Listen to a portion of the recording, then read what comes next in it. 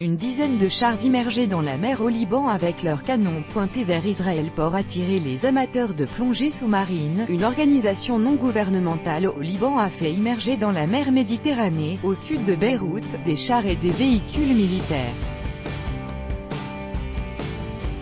Une dizaine de chars et de blindés offerts par l'armée libanaise ont été immergés dans la mer Méditerranée, au large de la ville de Saïda, au sud de Beyrouth, pour créer un parc sous-marin, et ainsi faire venir des plongeurs et développer le tourisme, relate l'AFP. L'initiative a été lancée par une ONG locale, les Amis des Côtes de Saïda, en partenariat avec la municipalité. Des algues seront installées sur ces véhicules. Ce sera un paradis pour les plongeurs, et un lieu où va se développer la flore sous-marine, a indiqué un représentant de l'ONG, Kamel Kosbar, à l'AFP.